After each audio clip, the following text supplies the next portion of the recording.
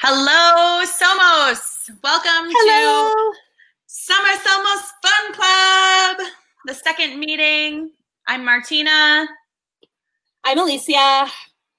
And we are super excited this summer to be um, connecting teachers that are thinking about using Somos, that have used Somos, that are definitely using Somos um, with some training so that you feel really equipped and ready to jump into the coming year. So today's um, Elicia and I are going to be talking about um, unit structure and basically what do you find when you um, open up a Somos unit, like you download it from Teachers Pay Teachers, you open it up, what are you looking at?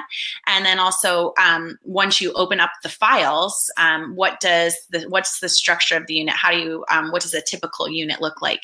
Um, just help you um, feel like you're familiarized with it before the year um, the year launches. So you get Somos, you open up a unit file. When you can download it from Teachers Pay Teachers, you download it. Um, if you purchase a single unit, you get a zip file. If you purchase the whole curriculum bundle, you also get a zip file. Um, if it's the whole curriculum, you've got to unzip the file and you'll see a bunch of folders. Um, and then even if you purchase a single um, single unit, you'll see a folder. And in each unit folder, you will always find a PDF that has the lesson plans. And that has to be a PDF because of a lot of the formatting stuff um, that I do on my end. So unfortunately, it's not editable. Sometime, most of the time, I'm able to leave it unlocked so that if you have a PDF editing software, you can kind of go in and make little changes to it, like maybe change wording. Um, like uh, I use PDF Expert for um, some of my editing, but sometimes I do have to lock the PDFs because of different things like clip art and stuff that's in them. So sometimes you can't do that. Um, so you'll find the lesson plans PDF. You'll get a slideshow. Um, the slideshow is provided in PowerPoint format and PDF format. This, the PowerPoint format is slides compatible. So that means if you open it up in Google Slides, um, all of the fonts in it are um, Google fonts. And so it should um, translate very well over to that. Um, and then you can save it in your own personal Google Drive. Um, that is a new thing that I've been doing over the last couple years. So there are a few straggler units that aren't compatible yet, but they will be done by the end of the summer. We're almost done with that project. Um, so you'll get the slideshow PowerPoint, which you can open in Google Slides, and then the PDF. And then you'll get a unit owner overview, which we'll look at in a little bit. You'll get a terms of use file, and then sometimes there are other files in there. But the big thing is, as soon as you open up the um, the folder, go straight to the lesson plans PDF, and the lesson plans PDF will walk you through how to use all of the other files that are in that folder. Do you have any comments about that, Elicia? Nope, that's just don't forget the lesson plans. They're really Yes. important. yes open up the lesson plans so the in the lesson plans pdf you're typically going to find um, suggested daily lesson plans we'll talk about that in a minute you're going to find resources for introducing the core vocabulary which um, if you were, were in last week's mindset if you watched our mindset summer Somos fun club um, i talked about how i'm not calling it target vocabulary um, in order to just clear up some confusion we're calling it core vocabulary um, and so for that, you'll find some sentences for students to translate. You'll find PQA questions. Um, in every unit, there's a song with some activities that you can do with the song. There's always a TPRS story script, suggestions for activities to do with the stories. There's a cultural connection, extension activities for the culture. There's always an interpretive assessment. And then in most units, there is at least a listening or a writing assessment, if not both. So all of those things are going to be in the lesson plans PDF. So that is why we say like open that PDF, you read through the lesson plans, which is, are the first set of pages, and then all of the other resources will be referenced by page number um, in those daily lesson plans. and um, you might notice that we're not going to talk about assessments at all. We're going to talk about those next week. So if you don't mind saving your questions, I can talk about assessment forever and ever and ever. And so I'll be here next week to talk to you about assessment because I love talking Forever. about assessment. really. Next week it'll be starting. It'll be starting July second at one p.m. and going until midnight. right. Kidding, but seriously. Um, okay, so the first most important thing is oh, that like froze in the thing. Always read the lesson plans before you start the unit. So the lesson plans, I mean, maybe you're totally like a, on the fly, whatever person, and you feel like you can read them, you know, as you're going through the day. But please, please take some time, carve it out before you start the unit, read through all of the lesson plans, think through what things are going to work for you, what things aren't going to work for you. Um, you know, what are the unique challenges you have? Look through all of the song lyrics. Make sure you're not going to get fired because there's any song lyrics that I didn't think seemed very questionable, but maybe in your context they would be questionable. Um, you know, any of the questions, um, the the personalized questions, like read through everything and think through with from the lens of you know what can I do in my class and what do I want to do with my class.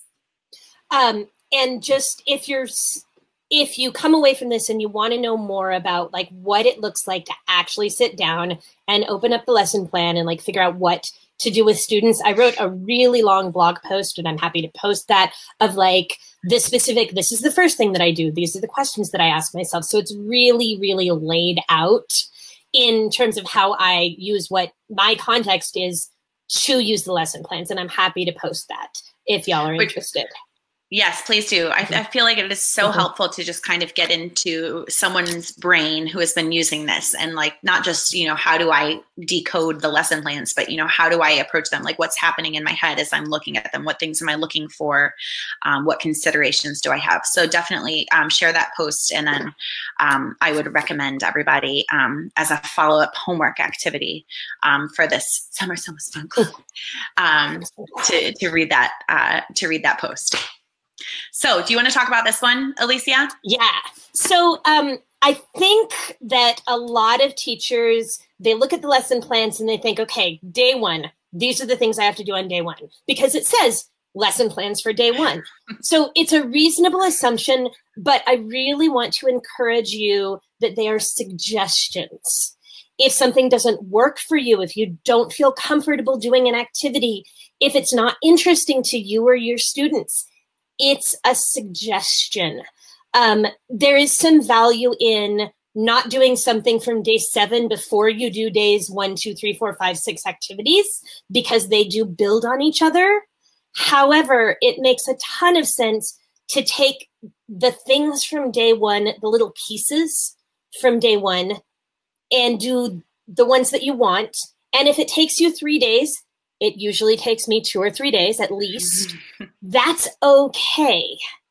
Um, and then maybe I don't do everything that are on the day two plans. I jump right into the story, or I can never fit a song in on the first date ever, ever, ever. in in my style, in my context, it doesn't work like that. So, um, oh, and here's my cat. Um, Martina, can you pull up? This is Diego. Hello, he missed me. Um, he uh, can you pull up the unit overview? Do you want to do that now?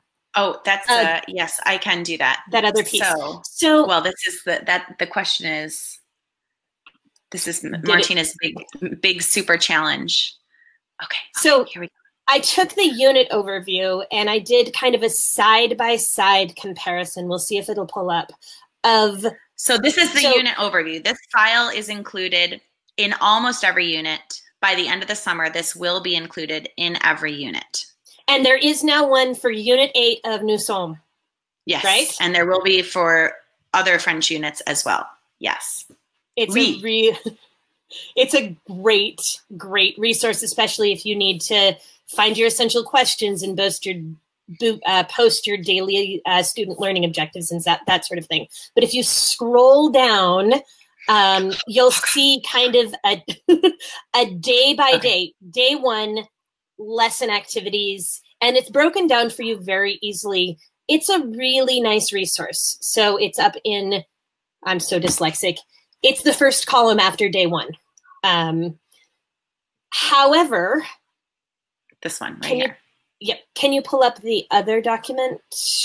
The lesson plans Maybe? document. The yeah the lesson okay. plans yeah so we can compare so mm-hmm. let's show you like how do things look differently in the lesson plans document versus the um the unit overview so the lesson plans document is very detailed It's more like a narrative than a list. Yeah, I can. Is it? Does it work if I have them both up? Is that okay?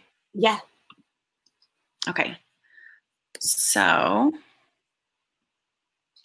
here you can see like the campanada gives you links. It tells you exactly what the campanada is. Um, it tells you all these instructions for introducing the vocabulary. It tells you exactly what to do with the song. It explains it all. Whereas over here, it's just bulleted. Mm-hmm. Which is really useful. However, when I sit down and I look, and for me, I do, I'd say 95% of what is in every unit for the units that I teach. However, I remove these day markers and I think of it more as a bulleted list of mm. these are all of the things that I'm going to do. So for the first day, I'm going to introduce the core vocabulary. I'm going to do some PQA, which stands for personalized question and answers. I'm going to um, do the translation activity, and then I never have time to do the song. So then the day two, like the second day I see that group, I'm going to do the song. Sometimes there's another activity. Um, and then I'm going to go ahead and start story asking. I like to spend time on stories. So that might take me all of day three. And then day four, I do an activity with the story. So now I'm like two to four days behind what the lesson plans say. And that's okay because I'm teaching kids, not curriculum. Because you um, can go your own way. way. It's because it's my classroom and this is just my guide. So I really want to encourage you guys to use it as a guide, not a stricture. Thank you. I think that I think that is so important, and, and we just cannot uh, stress that enough because I think so much um, uh, stress, uh, like when we when we encounter teachers that are using Somos that are just like, oh, they're feeling frantic. It's because they've gotten behind, but you can't get behind. Um, uh, you know, you the the lesson plans. I'll pull this up again. Um, the lesson plans are suggestions, and so you are free to use them however you want to use them. And I do recommend, you know, following in sequence, but you can skip pieces you can also um, you know a lot of teachers uh, one the, one of the reasons that people find Somos so helpful is because it's going to walk you through all of these different things that you can do. And so it's helpful to like kind of learn new activities, um, learn new approaches. However, um, if you're feeling uh, kind of overwhelmed because you just tried a new activity yesterday and you haven't had a chance to even let that marinate, um, you don't have to try another new activity. You can do the same, um, you know, in each unit, uh, there's two or three activities that you can do with the story, the class story. And if you want to just do the same three activities several units in a row so that you can get comfortable with them, your students can get comfortable with them, you can do that. Um, you know, I wrote them out in the unit so that they're different, so that there's novelty built in. But if you don't want novelty, if you want familiarity um, to build um, to build that confidence, um, that's great. And I would add to that if the idea of story asking in three different sections exa- exhausts you and you don't feel like you can manage it, I don't feel like I can manage it like three hours in a row. It, that is um, one of the harder pieces of this curriculum. Yeah. Definitely the most rewarding, but challenging. It's okay to play with the order of things a bit. So in one class, you story ask in another class maybe you do a reading with a story from a different class that uses the same same core vocabulary and then you flip flop the next day stuff like that. So you can there is some flexibility um, based on your own energy levels and desires. Yeah. I, I will be talking about story asking um, in one of our it's either late July or early August sessions, and then the one after that will be alternatives to story asking. Um, but story asking is a, a, hard thing, and you'll find like in some classes it's amazing, and in some classes it's really hard. And so, like what you just said, sometimes like if you have a class that loves story asking, do story asking with them, and then use the story that they created um, in your other classes that maybe don't. And like I had um, my afternoon classes, I had um, I had a Spanish one in the morning, and then I had a Spanish one like right after lunch. And that class was always very quiet. And so they just didn't ever want to offer interesting suggestions. So they loved just going over the mornings stories. And then my last class of the day was insane, but they loved creating stories, but they were insane. So um, I didn't always have the energy to do it with them.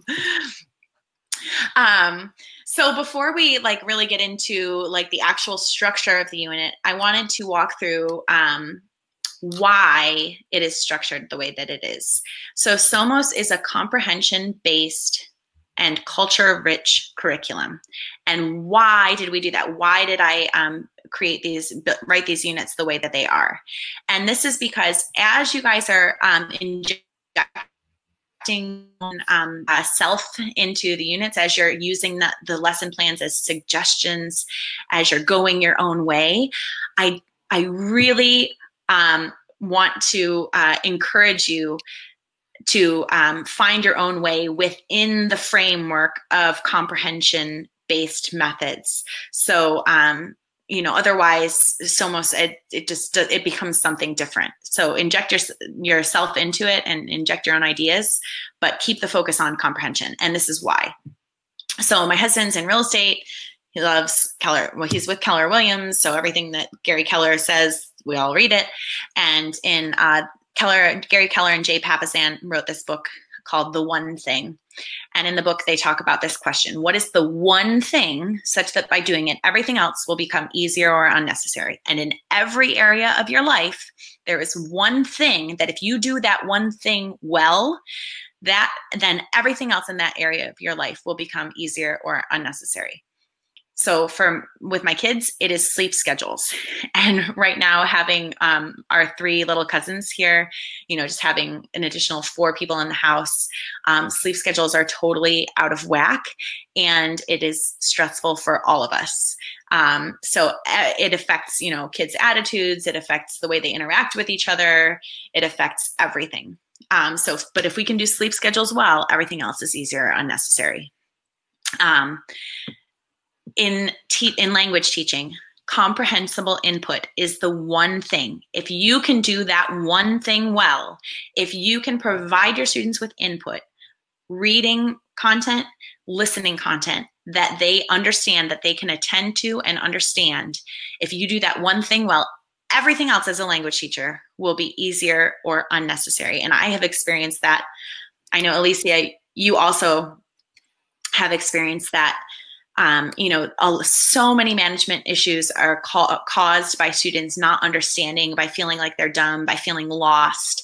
And so, if you can keep them understanding and you can keep them engaged, if they understand, because you're also um, uh, uh, trying to connect with the students. So if they can understand the connections that you're trying to make with them, um, management issues are going to go away. You don't have to worry about teaching grammar and testing grammar because comprehensible input is going to create that grammar um, in their heads. It's going to build their mental representation of language. So all of these issues that we worry about, these these obstacles that we have to tackle as teachers, they all greatly diminish when you're doing comprehensible input well.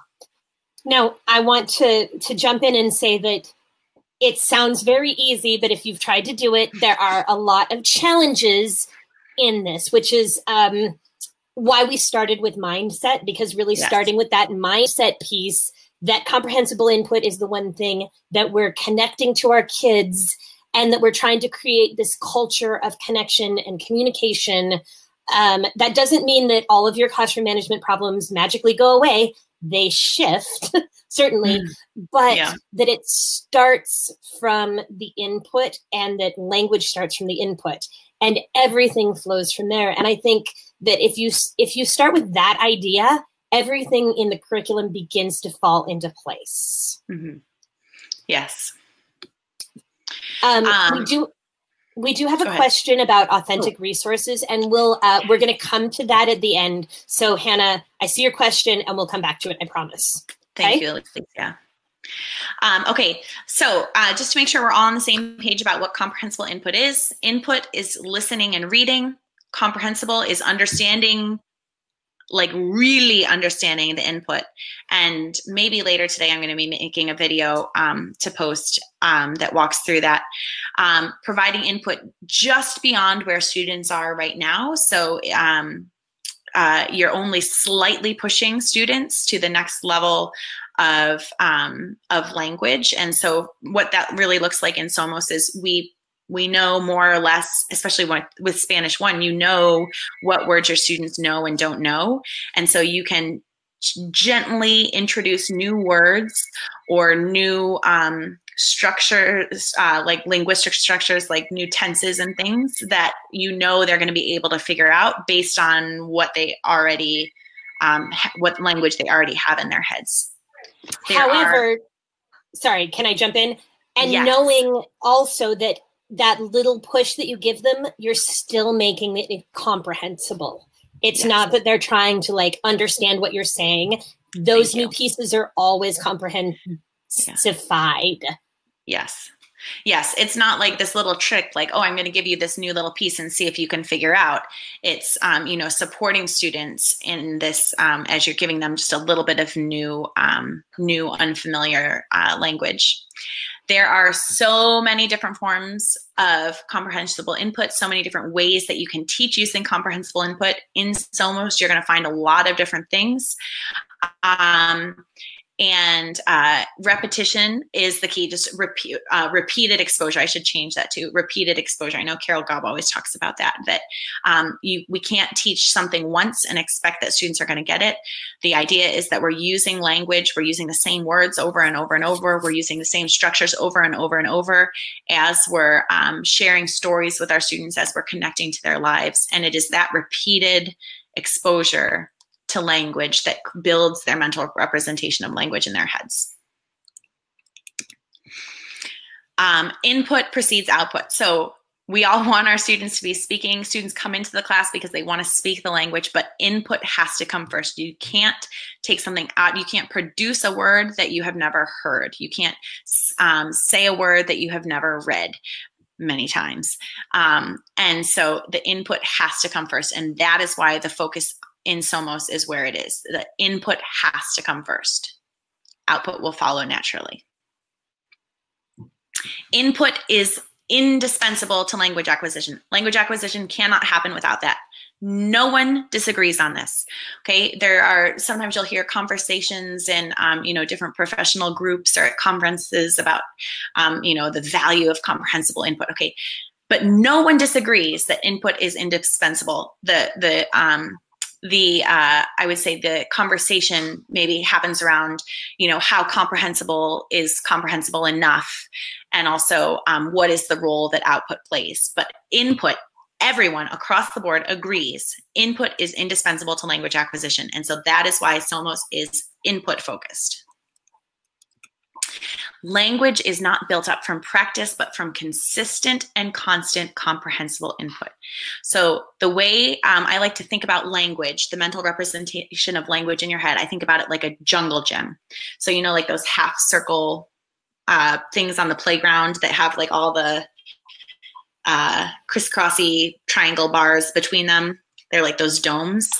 Um, I think about that as what language looks like in your head. And, and Bill VanPatten in his keynote at Comprehensible Online talked about them as um, languages like constellations. So just like that three dimensional kind of thing where there's like um, there's different points and there's connection lines connecting the points. Um, that's what mental what language looks like in your head, where words and pieces of words are connected to other words and pieces of words. So the word Elicia is connected to the word Martina, is connected to the word Vermont, because this is where I live, is connected to the word United States, is connected to government, is connected to governed is connected to governing is connected to and you could go on forever so language is just connections in your head and that all of those connections are made through consistent and constant comprehensible input. As you're using, as you're giving your students input, as students are receiving input from other sources, their brains are processing it and they are their brains are building that mental representation in their head. Practice, explicit instruction cannot create that mental representation. The only thing that can create that mental representation that can store that language in their heads is input. And this is a big paradigm shift. Yes. yes. And then accurate output comes when there are no holes in that mental representation. So when when students make perhaps a mistake, if you can call them that, um, it's because there's a connection in there that isn't formed yet. So you know when you have a student who um, you know says uh, yo va, it's because oh they that that connection between the yo and like the irregular um, yo endings like that connection hasn't yet. And the only way that that connection can be formed is repeated exposure. It's through input not and through instruction and exposure that they understand. Yes, thank so you for- as as many of you may have experienced if you go into the target cult into the culture where your target language is spoken but you don't understand anything it's all just gobbledygook. And that doesn't help. Sorry cat again um, acquire language. It's yeah. just it only works if the messages are being understood. Mm-hmm. and that's a key point too Yes. Yeah. I mean, a person can say a word to you 5,000 times, but if you don't understand what that word means, you will not be able to use it. That word can't, it, it's completely useless to you. So, that comprehension piece, we cannot lose sight of it. Um, that That is the, the, the, the critical piece. And I feel like that's the huge mindset shift that, that comprehension has to happen. Um, Instruction does not alter the order of acquisition, neither does practice. I'm not I'm, I'm going through these slower than I intended to, so I'm just going to skip through it. But I will make a video for you later talking through these a little bit more. Those who read more write better. It is reading, not instruction, that helps us develop a good writing style. So you want students to be good writers? Great. Read things. And Somos is filled with readings and filled with suggestions and opportunities for further reading. Proficiency develops by listening and understanding and by reading and understanding. Comprehensible input. That is how proficiency develops. That is where why the focus is in Somos where it is.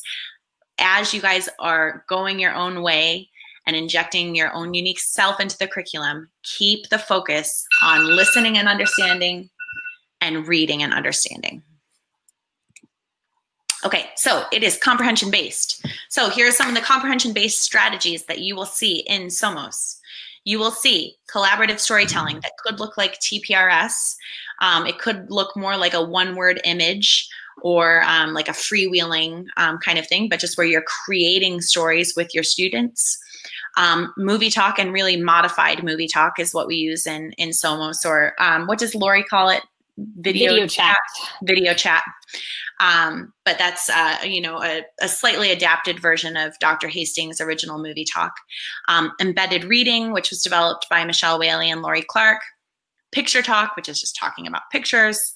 Um, TPR, total physical response. I think probably every language teacher has learned about that in their methods class at some point. Personalized questions and answers. Ben Slavic has some great resources about that reading and discussing, and then just straight up storytelling, just telling stories to your students. And sometimes that's uh, just you standing in front of the room talking, and sometimes that's drawing on the board, but just more traditional storytelling where you're not co creating stories with your classes, you're just telling them a story. Do you have anything to add to that? I don't think so. The one thing that isn't up there is card talk, but that is oh, a form yes. of co creating yes. stories. Yeah. Of collaborative totally. storytelling as well. So that's I need I should update that. Okay, so Somos is giving you comprehensible input. Only you can ensure that it becomes comprehended. So I'm um, in, in, the lesson plans, all of the readings, there are things that are should be reasonably able to be understood by a student that has been working through the Somos program. Um, you have a whole range of different uh, learners of proficiency levels in front of you. They've come from many different places. Sometimes they've come from other Spanish classes. Um, sometimes, um, you know, they haven't worked through the first Somos units. Um, so for all of those reasons, it is your job as the teacher to take what is comprehensible, reasonably able to be understood, and make sure that it is comprehended, that they actually understand what you're hoping that they will understand. Um, a really common question that gets asked on the Facebook group is Do I have to teach the units in order? And um, the answer is not necessarily, depending on where what your students know, what they need to know, what you need.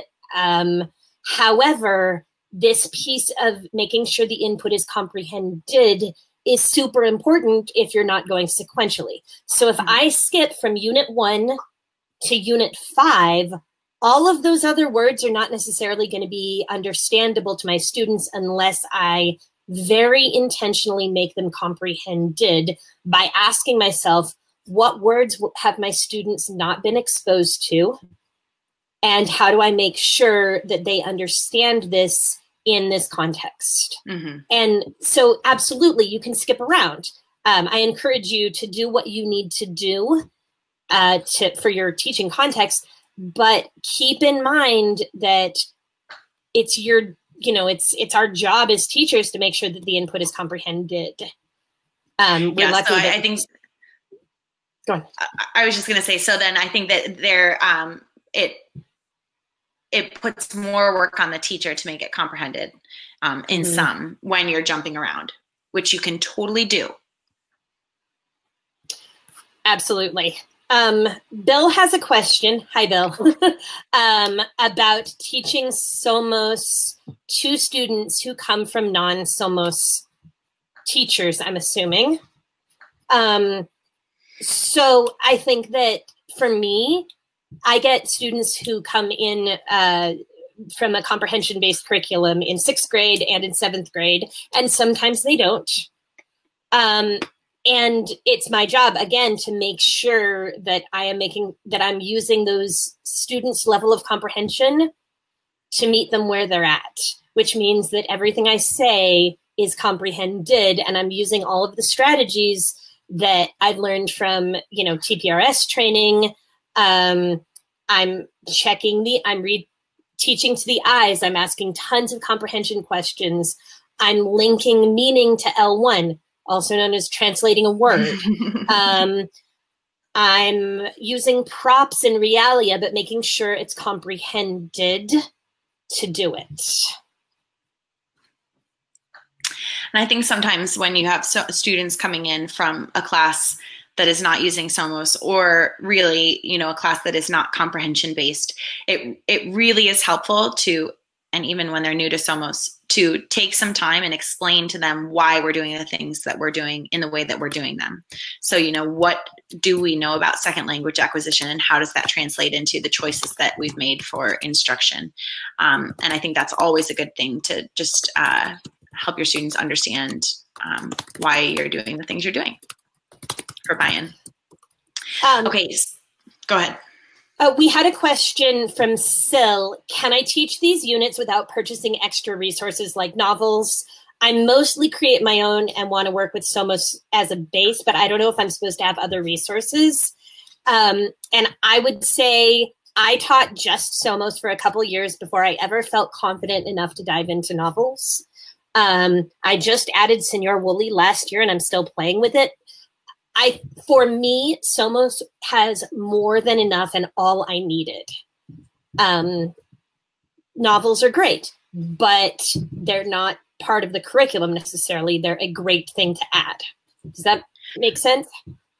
Yeah, and I, I would I would agree with that. I think that Somos will give you everything that you um, need to get you to, to get you through the year. Um, there are a lot of things that you can do, um, and that I strongly advocate for teachers doing um, when they have the confidence to tackle them, and if they have the um, the um, resources to be able to acquire them. so, you know, teaching novels was such a I just such a joy for me. I, I loved using novels with my classes. Um, we had just great experiences centered around them. Um, when I was still in the classroom, Senor Wooly was uh, much more limited than he was now, but even still, like I loved using his um, just the music videos. And so, you know, that would be another thing that um, there's so many teachers that use Somos and Wooly together um, but you don't need any of those things. If you have the if you have this curriculum it will take you through the whole year. You will have more than enough to fill the whole year. You don't need to um, also go out and get anything else. You can. There's great things out there that i love but you don't have to Um, okay, so SOMOS, again, um, before we actually show you the structure of the unit, um, uh, it's comprehension based and then it's also rich in culture.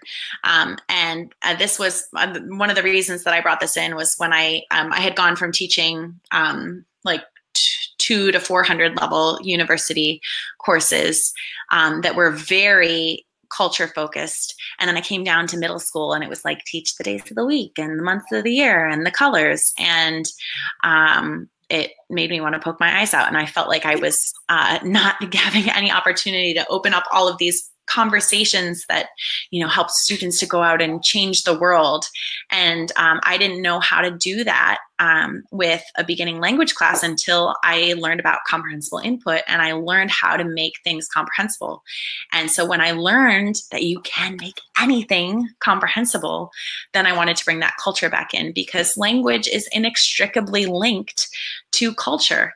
Um, I, I, feel like they they have to go hand in hand. And what you know I saw in the textbook that I was working from was like language, language, language, language, and then at the end of the chapter it was like a two page spread of panorama and like that was the extent of the culture, which it just seemed so disappointing to me. And usually um, it was in English. Yes, and right? usually in English. Yeah, so it's so it was like completely separating. It's like you have culture, you can study culture, or you can study language, but you can't do them both, and that's so not true. And so, sorry, I have um, my one of my sons has uh, Lyme disease, and so I've got to remember to be giving him his antibiotics, oh. which so I'll keep snoozing it. I hate ticks. We're having so many tick problems this summer. Um, okay, so but that's aside beside the point. So, um, so yeah, when input is comprehended, any content can be a conduit for language acquisition. And so for me, I really wanted to make culture the focus. The other big one, like Elicia and I have said several times here today, and that we really focused on last week in the mindset shift was, um, you know, that content being students' lives and the connections to them. So when you, when input is comprehended, anything can be content in a language class.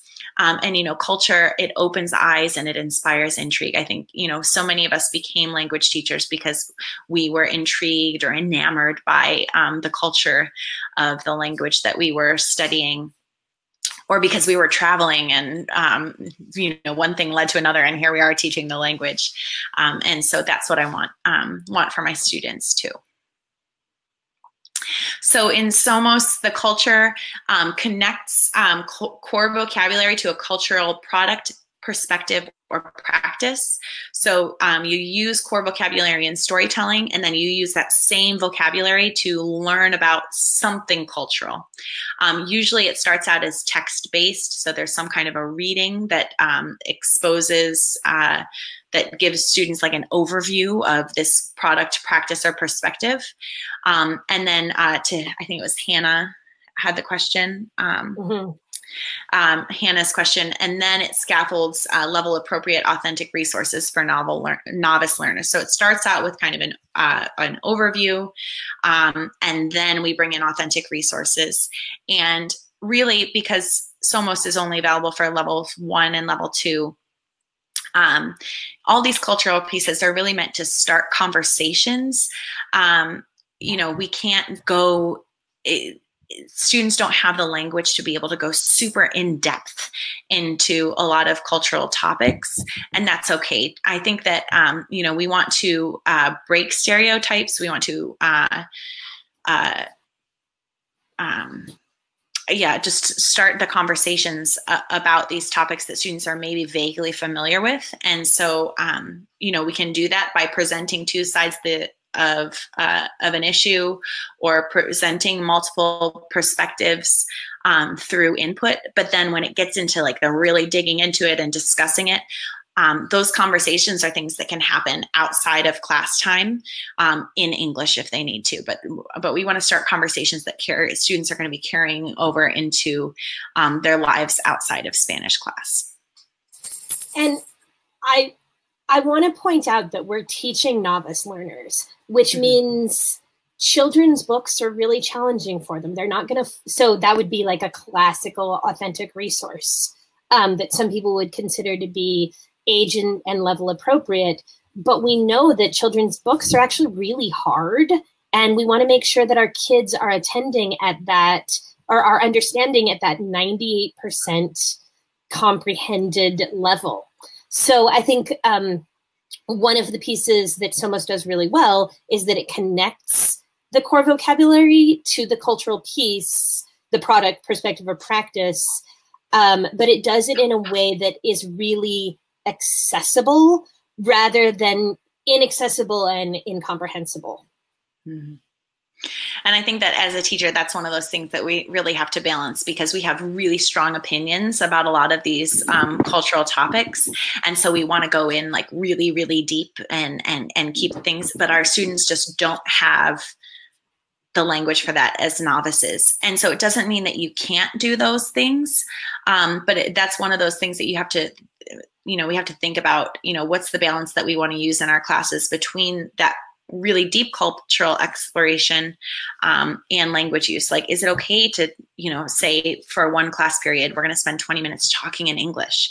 Um, you know that's a decision that you have to make for yourself. Or is it okay to just present overviews and then kind of let these thoughts marinate in our students brains? Is it okay if i just you know um, uh, scratch the surface of this topic and then walk away from it. Um, and so those are all of the kinds of ways things that you have to think about as you're um, walk, looking at the lesson plans and saying like, okay, you know, am I comfortable bringing this up if we can't really get into it, or you know, should I spend some, should I leave some time in my lesson to talk about this in English? Um, and so those are all uh, decisions that you can make, and everyone's going to arrive at um, different decisions.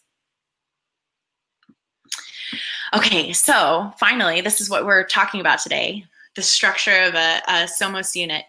Um, so we have a three, every Somos, most every Somos unit, and this is really for Somos one. Somos two does look a little bit different. I, sh I should have, I, it's just occurring to me now that I didn't really talk about that. Um, in, in Somos two, there's not a cultural topic for every, um, for every unit. Um, so always for Somos one and sometimes for Somos two.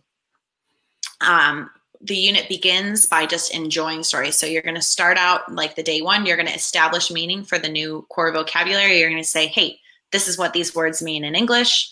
If your students have um, a common English as a common first language, this is what they mean. And then you start doing stories. And so stories could mean TPRS. It could mean movie talk. It could mean a story told through a song. Um, it could mean the personalized question and answer. So the stories of your students' lives, um, stories from their lives. But that is what that first phase is focused on. Do you want to jump in about anything about that? Um, the introduction of the core vocabulary is really important. So however you choose to interact with these story options, whether it's modified movie talk or a song or a TPRS story, um, that step of introducing the core vocabulary and establishing meaning is really important to have success through the next two pieces. So keep that in mind as you're looking at your own planning process. Don't skip that step um, if you want the most success. That what keep, helps keep it comprehended. Mm -hmm. Definitely. Um, and then uh, and then moving from that to the introduction of the cultural topics. So the stories like you'll tell a story you'll watch a movie and, and talk through the movie. Um, and you'll spend a couple days doing that. And then you'll usually do some activities based on that. So to just kind of keep uh, recycling the story. And um, you know students typically they like especially if it's a story you've created together they like revisiting it and talking about the story because it's something fun. It's theirs. It's their baby that they've created. And you know, even with a movie talk um, where it's something that a story is that's told to them, um, you know, in my experience, my students really like the repeated exposure to that story through um, that happens through uh, well chosen activities um, so that they have the confidence to be able to retell it. They like talking about um, talking about things and being able to talk about things in the target language. So that story phase lasts I mean, it could last anywhere from three days to two weeks. um, you know, usually in the lesson plans, it's written as between three and four days for that first phase. But like Elicia said, a lot of teachers take a lot longer with it, um, and that is okay. And then you'll introduce the topic to your students. So you take the same core vocabulary that um, you uh, that was focused on in the stories. And you use that same set of vocabulary to introduce a topic to your students. So uh, as Elicia said a product a practice or a perspective. Um, and usually it's just a short couple paragraph reading um, presenting a topic to um, students and from there that's when you bring in the authentic resources and um, other activities to um, to learn more about the topic. So a lot of um, there's a lot of videos that we use from youtube um, some uh, infographics songs um, so one piece uh, to go back to hannah's question about appropriate scaffolded authentic resources a con- a concrete example is in unit two, the target structures are runs, walks, and is at like time. Um, runs, walks, so sees. Runs, walks, sees. Sorry. Um, see, I can't even do it without using the TPR gestures. I, I, I, I just can't. Um, I can't speak Spanish without my hands. um, so then the introduction of the topic is a picture of the uh, Corrida del Toros, or no, the Encierro del Toros, mm-hmm. and um, that uses runs, walks, and sees. So, and then there's a short reading, and then so that's a, a very concrete of moving from the core vocabulary to an authentic picture, which is a cultural product, right? And then moving into the exploration. Do you want to talk about an exploration? What the explorer means? Yeah, so um, so that's your opportunity um, to uh, really see. I, I, I, know we were just talking about Encierro de Toros, but the the Corrida de Toros, for example, you know, the reading kind of presents two perspectives on it, but very briefly. You know, it says, you know, some people say this is a cultural tradition, other people say that it's animal cruelty and torture. And so then in the cultural exploration, like that was just a very brief, like, okay, this is what this is what a corrida de toros is. These are two perspectives on it. And so then in the exploration, then um, you get to learn a little bit more about like what is a bullfight and if you feel comfortable showing a part of a bullfight there are suggestions for um, some videos that you can show your students a lot of teachers don't feel comfortable even showing a, a piece of a bullfight um, and that's okay um, and then there's uh, for perspectives, then we look at, um, you know, okay, so there's people out there that say that this is an art form and it's culture. And so we look at, you know, what are the, what are they using to defend that? How, how could someone consider a bullfight as a form of culture? And so we look at, you know, the, the, um, the uh, different like the moves that the the toreros use and how there's traditions behind those. And then we look at okay well then other people say it's torture. So then we look at um, the some of the protests and some of the changes in legislation that have been happening.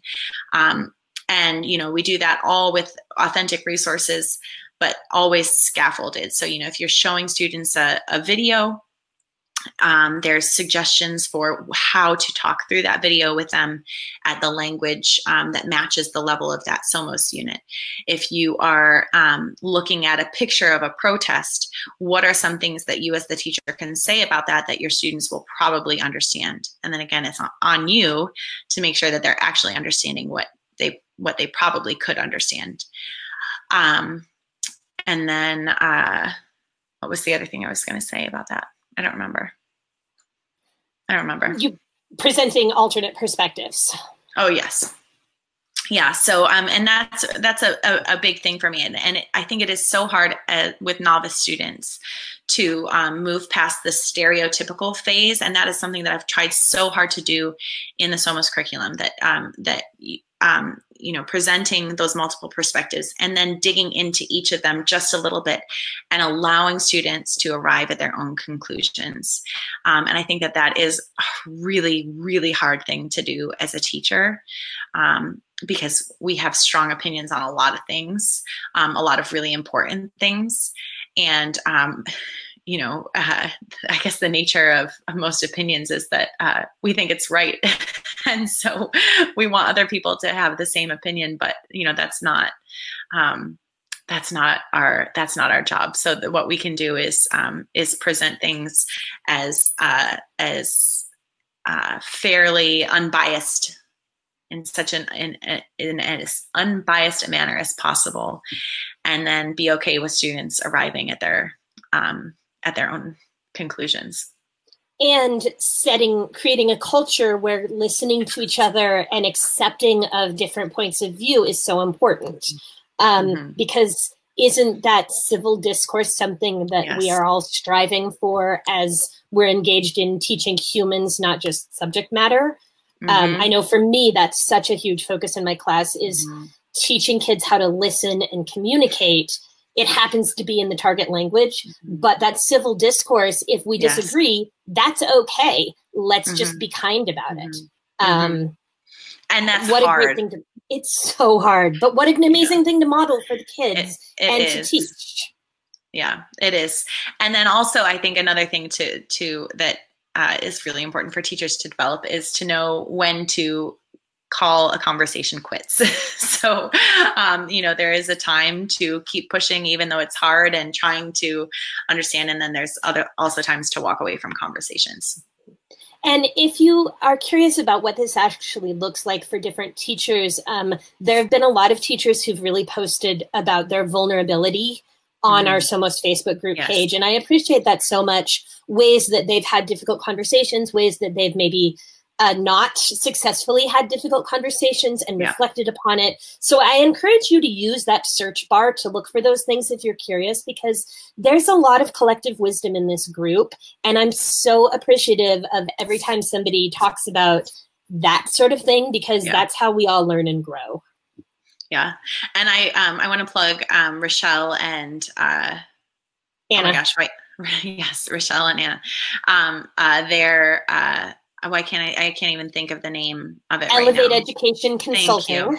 Elevate and Educational Consulting. So, if any of you, if that is really a passion of yours, um, to dig into that kind of thing, um, to learn how can you facilitate those conversations, how can you, um, you know, create a culture in your class that is um, open and accepting. Um, Elevate Educational Consulting. Um, I would strongly recommend uh, joining their uh, uh, co- I wouldn't say cohort, but it's a, a it's a cohort model professional development yeah. and yeah. they've had such a, a, deep impact on my own practice in terms of creating an inclusive classroom and respecting culture and really mm-hmm. learning how to teach culture through the mode of somos but then finding my way through it um, highly highly recommended and i'll post the uh, link as soon as i find it mm-hmm. Um, so one question that uh, someone asked, and I can't say the name, so I apologize. They said, in many middle school students only have class every two or three days. What modifications should be made? That's a question that comes up a lot. Um, and so I guess I'll start with the extreme, which is teachers say, oh, I only see students once a week um, you know, is Somos a good fit? And I honestly would say probably not if you're only seeing your students um, once a week. Um, there just is so much in the curriculum. It would take you so long to move through things. Um, and so I think for classes that meet once a week, um, it's a better fit to just focus on things like special person interviews um, and not bringing in quite so much of the culture um, because you're just not going to make progress um, with the language as much. Um, in classes, schools where you have class every two or three days, um, I would just say to really look at those unit overviews and consider like what things are um, uh, the most essential and what things are more fluff. And you can cut out the fluff. You're probably going to end up cutting out um, some of the uh, cultural exploration. Like you might be um, be okay with just introducing the topic and then maybe do one or two of the suggested suggested cultural activities, but not as many. Um, you might uh, not do a song for every unit, um, especially because if students aren't seeing you every day, you know they'll be okay going longer with a song like carrying it over from the last unit. So I would just try to trim things out if you're only seeing students every couple days. What what would you add to that? Um, so I'm next year. I'm embarking on a whole new phase in teaching elementary school, and I'm helping uh, create the curriculum for a third through fifth grade class that I will be teaching one of the sections of fifth grade, and um, it is I, am not going to use Somos for a bunch of reasons. One of them is that I only see them for 45 minutes a week and not mm-hmm. every week at that. It'll be most weeks, but not every week. So I'm doing a lot of special person. I'm planning on backwards planning from a novel if I have the funds. But, mm-hmm. um, and then a lot of pieces from the Storyteller's Corner, mm-hmm. uh, which is a great elementary curriculum. Yeah, the story. Uh, yeah, and that's another question that comes up a lot. So I'll plug that. I I do not recommend using Somos with anyone really younger than sixth grade, but maybe you can stretch it to fifth grade with some modifications. But un, under that, I would not use Somos. The Storyteller's Corner has some great resources. Um, El Mundo de Pepita has great resources. Mm-hmm. And then Mrs. Spanish's class, um, Anne Marie Mitchell, she uses Somos in her upper level, um, in her older classes. And so I think that she has a very Somos feel to her units. Um, and hers is, yeah, it's uh, Mrs. Spanish class. And I forget what the curriculum is called, but you can look that up on Teachers Pay Teachers.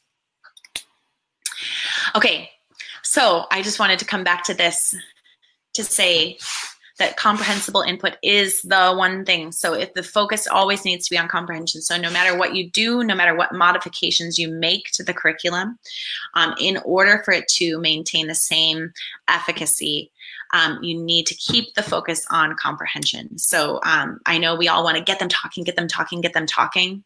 Um, that's exciting, it's glamorous, um, but that's not where the bulk of language acquisition happens. It's in the comprehension. Next week, we're going to be talking about assessment, July 2nd, 1 p.m. Eastern.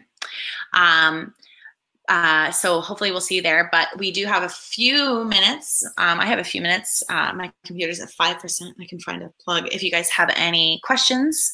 Um, and if not, um, if you're catching the replay, uh, we can answer questions um, then too. We, we've been following up on them special person interviews. Yes, I think special person interviews are so awesome. I didn't really know about them when I was in the classroom. I've only um, learned about them and started using them um, in uh, like special classes that I teach every now and again uh, since then. But they are a wonderful thing um, to build into your curriculum if you're ready for it. I have to say, I was not ready for it the first three years that I tried them. Mm-hmm. And mm-hmm so I think the second year I embarked on Somos, I tried to use them. It was a total failure. Third year, it was less of a failure, but still not great. Fourth year, it was, eh, it wasn't my thing. It didn't work. This year, I really, I didn't even commit, but I said, I'm going to try it again. And it mm-hmm. was radically different. And it turned mm-hmm. out to be one of the best things I did for my classroom community and myself. Um, and I so recommend it, but the, I think the piece that's important is not that they're so great, is that it takes you a long time to figure out what works, and it's okay if you have a total flop. Um, and then do something else the next day or come back yeah. to it. It's okay. I, I'm so glad that you shared that because I think that um, you know, in in my experience too, like I try things even a couple times and I'm like, ah, that's just that's not going to work for me. But sometimes it takes a lot of tries before mm-hmm. you um, before you find your um, sweet spot um, with an activity. And so it doesn't mean that the activity is not for you. Maybe it does.